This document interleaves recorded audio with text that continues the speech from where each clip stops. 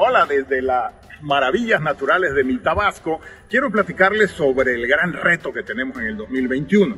Muchísimos problemas, por supuesto la pandemia, los 200 mil muertos que ya este gobierno nos ha eh, provocado tener, también eh, el reconocimiento de que pueden ser hasta 500 mil muertos, los 70 mil asesinados en el país. Nunca, nunca habíamos visto tantos errores garrafales como los que este gobierno y el presidente están teniendo.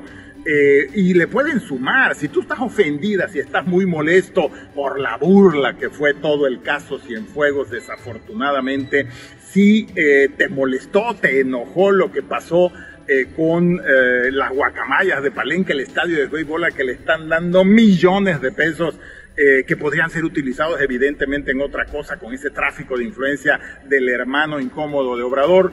Eh, si estás ya eh, en desesperado, desesperada por hacer algo, bueno, el gran reto del 2021 es el 6 de junio de este año. Ahí, fíjense, recuerden bien, 30 millones votaron por él, 30 millones votamos por otros y otras.